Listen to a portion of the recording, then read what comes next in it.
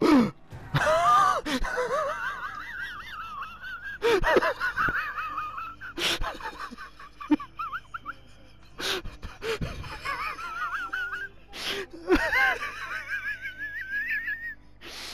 the first time I've done that, that's new.